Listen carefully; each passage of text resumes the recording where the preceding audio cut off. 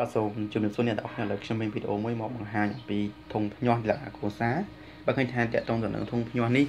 គឺថាមានការលក់ដាច់មែនទែនសម្រាប់បងប្អូនបងជើងក៏ដូចជាអតិជនដែលគាត់កំងយកទៅប្រើប្រាស់ណាបាទបើចឹងឃើញថាសន្ទុះនៃការទិញនិងការលក់ឃើញថាមានការលក់ដាច់ដោយសារអតិជនរបស់យើងគាត់គ្រប់គ្រងជាមួយនឹងស្នាដៃរបស់ខ្ញុំឲ្យតកតងទៅនឹងធុងភ្ញាស់លក្ខណៈគ្រួសារ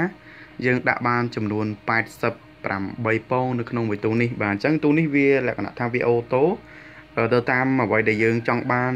នៅនីតិដែលយើងកំណត់វា V ពងអញ្ចឹងណាបាទអញ្ចឹងសម្រាប់បងប្អូនរបស់យើងអតិជនដែលគាត់កំងយកទៅគឺទទួលបានជាមួយនឹងជោគជ័យគឺមិនដែលមានអ្នកណាថាទិញយកទៅហើយដូរវិញទេបាទប៉ុន្តែខ្ញុំធានាដូរវិញបើសិនជាអត់ញាស់ណាបាទ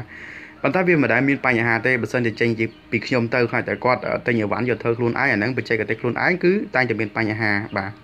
អរគុណបើសិនជាចង់បានទូនេះលក្ខណៈអូតូយើងលក់មួយតម្លៃ100ដុល្លារហើយអឺធានាមកស្អាតហើយមកញាស់ឲ្យហ្មងបាទអញ្ចឹងអត់មានលើសហើយមានខ្វះទេនឹងចង់បានតាក់តងកំង010 73 37 96ហើយរួមជាមួយនឹងថាការផ្ញើការដឹកជញ្ជូនអីគឺសេវាខាងគេថាបើសិនជាផ្លូវ2តង់ម្នាក់មួយខាង តែបើផ្លូវតែមួយតង់ទៅគឺខាងខ្ញុំអ្នកចេញបាទហើយតាក់ទងទៅនឹងមួយទៀតគឺគុណភាពគឺបញ្ជាក់ឲ្យបញ្ជាក់ទេថាល្អបាទញាស់ល្អមែនទែនបាទ អរគុណ